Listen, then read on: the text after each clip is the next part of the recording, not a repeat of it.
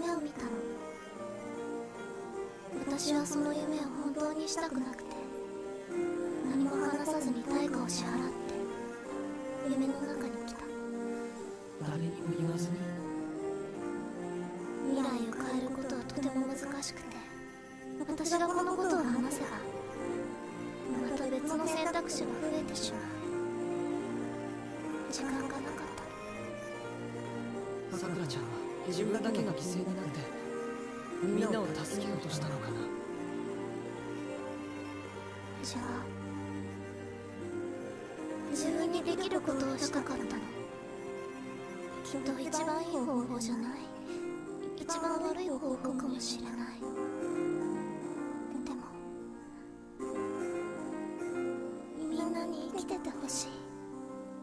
その中にさくらちゃんも入ってる